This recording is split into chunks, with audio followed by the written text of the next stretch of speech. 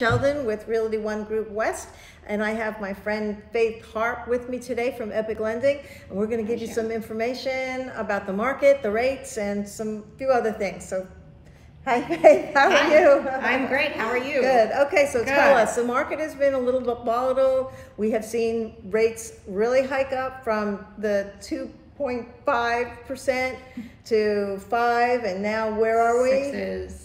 We're in the sixes. So tell us what's going on a little bit in the market and give us a little insight. Yeah, yeah. So a lot of people, when they saw rates come up, they thought automatically um, home prices would basically uh, tumble. Start tanking. tumble and that price the prices would tank and we would go into a major downturn Right. and that has not happened So- at all we have seen some stabilization in the market but generally speaking home prices have not tanked they've remained stable and as a matter of fact CoreLogic is predicting that over the next year we're going to see on average 3% appreciation Okay. so 3% on appreciation on a $700,000 house is $21,000, which is relatively substantial. And that is, when you consider a 10% down on a $700,000 house, that's a 30% return on investment, which is relatively substantial Okay. um, Uh, moving forward. Right. Okay. So, um, so right now we're seeing um, some buyers are being, I guess, a little cautious, Mm-hmm. but we're also seeing a lot of a lot of homes are actually selling. Um, we have we have more homes on the market, although they're staying on the market a little bit longer. So, where a buyer a couple of months ago was able to um, it was really not able to buy a house. It was very difficult market. Um, 10 offers on one property and then off market within the first 10 days. So now I think a buyer has a little bit more opportunity to actually buy a house at uh, maybe even a little under asking price or at asking price. But we have some tips for you here, so Yes. let's keep going. Correct, correct. So buyers are in a great negotiating um, position right now.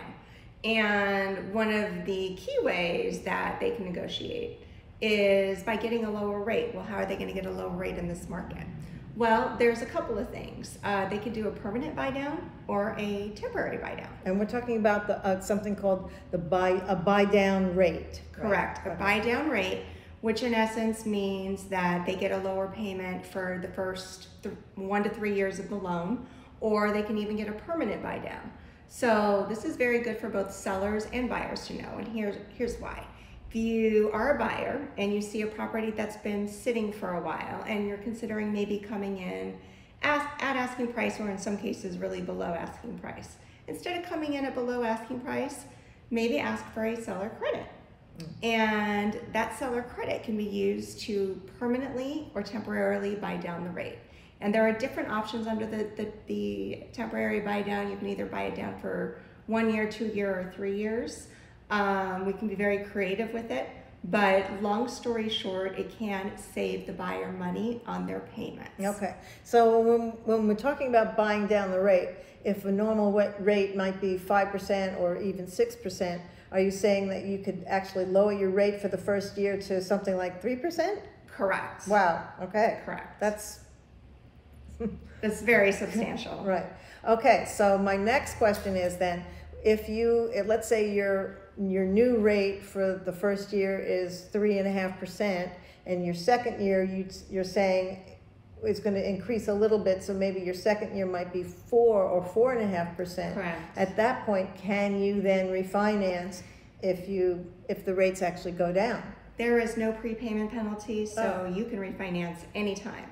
You can Okay. refinance after year one. You can refinance after month one. Okay. Technically, most people don't need to do that, but really, there's no prepayment penalty. So someone could purchase the house, wait for rates to come down, which will eventually happen, probably over the next year, few years, sooner versus later, Right. and then refinance. Right.